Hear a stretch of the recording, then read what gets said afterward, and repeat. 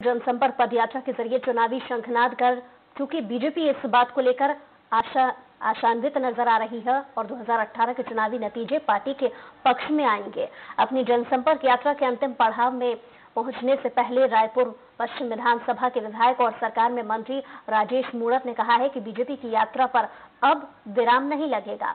BJP ये विराम अब तक नहीं लगाएगी।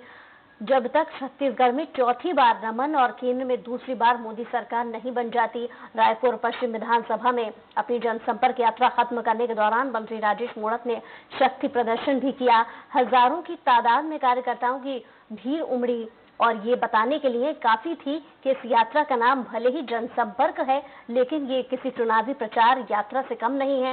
यात्रा के दौरान स्वराज एक्सप्रेस से खास बातचीत करते हुए मंत्री राजेश मूरत ने कहा कि अब यात्रा निकल पड़ी है। अब हम 2018 और 19 तक चैन से नहीं बैठेंगे। बीजेपी की जनसंपर्क पदयात्रा की इस कड़ी में हम पहुँचे हैं रायपुर के पश्चिम विधानसभा क्षेत्र में, जहाँ पर राजेश मुड़ा जो कि सरकार के मंत्री भी हैं, आज अपनी जनसंपर्क यात्रा का समापन करने जा रहे हैं। अनुभव कैसा रहा? किस तरीके से रिस्पांस निकल कर आया इस बारे में हम बातचीत करते हैं। इतने दिनों तक की यात्रा, कैसा रिस्पॉन्स मिला आप लोगों को? ग्यारह तारीख से लगातार यात्रा पे चल रहा हूँ। आम पब्लिक के बीच में लोगों से संपर्क, संवाद करते हुए आज यात्रा का आखिरी दिन है, समापन की ओर हूँ। ये यात्रा विकास की यात्रा, निरंतर चलने वाली यात्रा है। यात्रा पे निकल चले हैं। 2018-2019 का लक्ष्य प्राप्त करके ही चैन से बैठेंगे।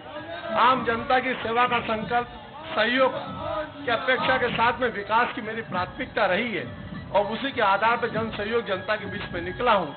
हम सबकी कोशिश है, छत्तीसगढ़ राज्य समृद्धशाली राज्य खुशहाल राज्य बने और डॉक्टर रमन सिंह के नेतृत्व में हम सब मिलकर इस काम को आगे बढ़ा रहे हैं। आज जनता के बीच में आया हूँ मेरे क्षेत्र की जनता मेरे साथ है। यही मेरा संकल्प है हर व्यक्ति की सेवा का संकल्प हर क्षेत्र का विकास हम व्यक्ति की सेवा के साथ में आम व्यक्ति तक पहुँच हमारी पहुँचे। इसी काम को लेकर जनता के बीच में निकला। काफ़ी सवाल है। चौथी बार बीजेपी सरकार का नारा जो पार्टी ने बुलंद किया है कितना सार्थक होगा जब चुनाव होंगे?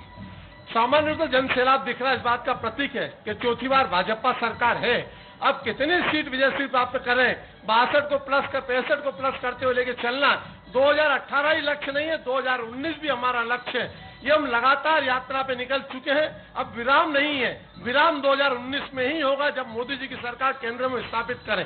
ये थे मंत्री राजेश मूडत और जिस तरीके से बीजेपी की जनसंपर्क यात्रा चल रही है पूरे उफान पर, उसे तो बीजेपी आशान्वित नज़र आती है कि मिशन 65 यानी 2018 के चुनाव में जो पैंसठ सीट जीतने का बीजेपी ने इरादा कर रखा है, लक्ष्य निर्धारित कर रखा है, उसे बीजेपी पार करेगी। मिशन 2019 भी बीजेपी के एजेंडे में है। लेकिन चुनावी नतीजे क्या होंगे? चौथी बार, अब की बार बीजेपी सरकार का जो नारा है, ये नारा कितना बुलंद होगा?